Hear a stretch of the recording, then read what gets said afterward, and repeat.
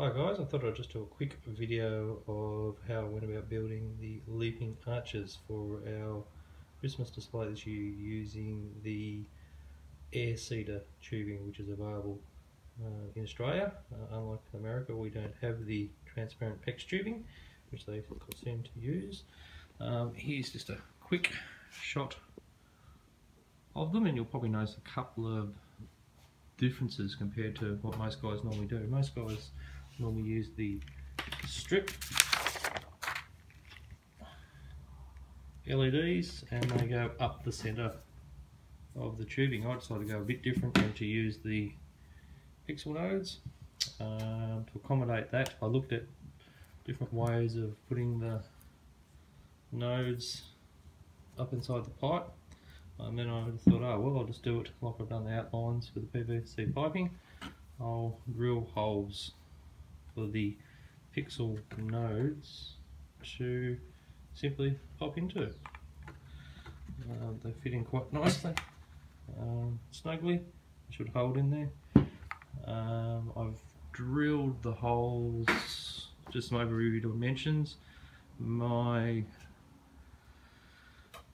uh, leaping arches, there's a better shot over here of actually. The leaping arches are 2.5 meters overall length with the base being 1.6. I did start them off at 3 meters overall um, but once I positioned them up in the yard for a bit of a quick look they looked a bit big so I brought them back down to 2.5.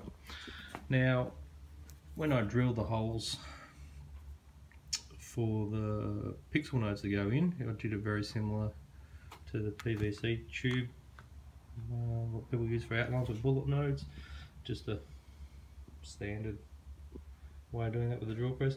Just one quick tip I have used a spade bit 12 mil spade bit compared to a 12 mil flute drill because the flute drill as you go to drill them wants to pull itself in and drill right through with the spade bit in the drill press just a little bit more control a bit of a neater hole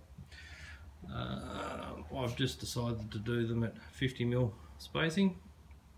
Uh, so on these arches, we've got 50 nodes, I believe, uh, right across. Now, I will give you a quick uh, demo of them. It does. There is a couple of downsides to doing it. I'll just mention it first. Um, you do get a little bit of hot spotting where the nodes to right through, shine through. Um, but that I don't believe will be much of an issue. Alright guys, I'll grab another shot um, of these in operation so you can have a look. So here's a quick bit of video of the arches. You can see there's just a little bit of hot spotting. Um, the colours don't show up too good on the camera, it's just an iPhone. Uh, I'm pretty happy with them.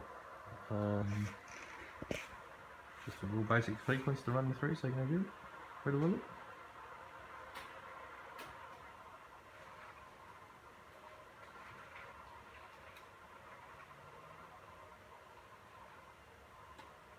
That's about it guys. Alright, thanks for looking. Um, any questions? Add a comment. You know the drill. See you.